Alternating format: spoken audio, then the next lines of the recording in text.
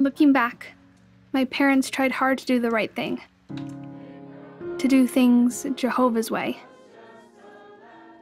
But because I didn't have a hatred for what's bad, I couldn't see anything wrong with my choices. This eventually led me to do things I later regretted. I ended up getting disfellowshipped. Sonia Erickson has been disfellowshipped. It crushed my whole family.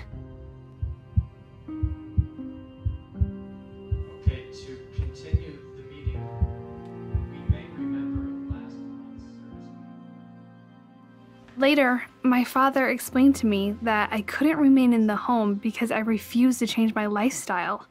He told me I was having a negative effect on my younger brother and sister. Then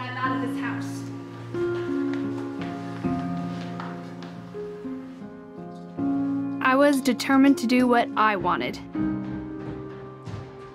When I left home that day, all I could think about was Eric. I didn't even care that my parents' hearts were breaking.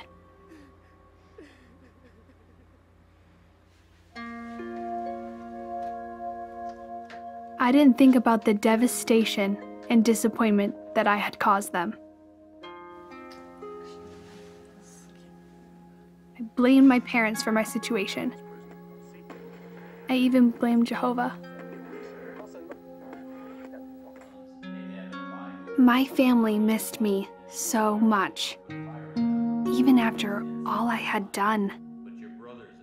What helped them to remain loyal to Jehovah for the many years I was disfellowshipped? It was the Bible account of Aaron. Jehovah directly judged two of Aaron's sons and put them to death.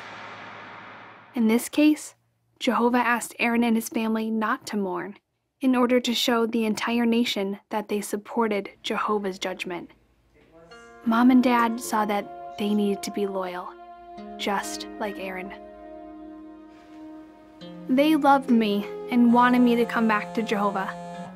I tried to contact them. I just wanted to talk and to hear their voice. I missed being with my family. And they thought about reaching out to me. But they knew that if they had associated with me, even a little, just to check on me, that small dose of association might have satisfied me. It could have made me think that there was no need to return to Jehovah.